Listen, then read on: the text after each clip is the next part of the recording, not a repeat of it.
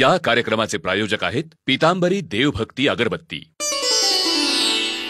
नमस्कार श्रोते हो पितांबरी अगरबत्ती डिव्हिजन प्रस्तुत पितांबरी देवभक्ती अगरबत्ती. या कार्यक्रमात मी उदय कश्यप आपलं मनापासून स्वागत करतो. श्रोते हो, पुन्हा एकदा आपण सारे जमलो आहोत गुणवत्ता आणि अभिनवता. या दोन्हीचा उत्तम संयोग असलेल्या पितांबरी कंपनीनं ग्राहकांसाठी उपलब्ध करून दिलेल्या देवभक्ती अगरबत्तीबद्दल विशेष माहिती जाणून घ्यायला.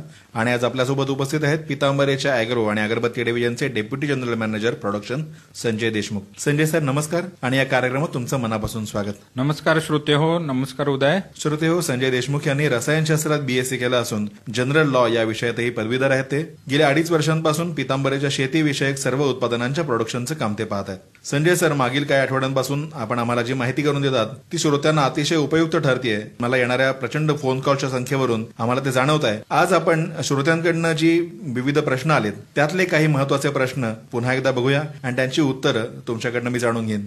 यातला पहिला प्रश्न आहे की पितांबरी देवभक्ती अगरबत्ती ही फुलांच्या नैसर्गिक अर्कापासून तयार केली जाते असं आपण म्हणतो. म्हणजे नेमकं काय? आणि अन्य अगरबत्त्यांहून तिचं वेगळेपण काय आहे? चांगला प्रश्न आहे उदय.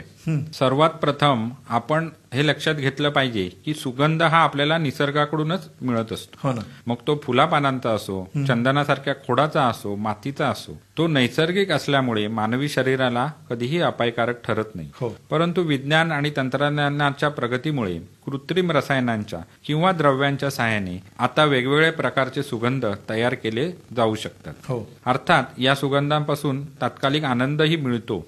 परंतु त्यामुळे मळमळणं डोके दुखणं श्वास घ्यायला त्रास होणं असेही जे दुष्परिणाम आहेत मानवी शरीरावर होतातच. हो ना. आता परफ्युमरी अर्थात सुगंधशास्त्रात सुगंधाच्या संदर्भात एक फायनल नोट नावाची एक टर्म वापरलेली आहे. याचा अर्थ मूळ सुगंधाशी तंतोतंत जुळणारा सुगंधाचा स्तर. बर. ही जी फायनल नोट आहे ही कृत्रिम सुगंधात मिळत नाही.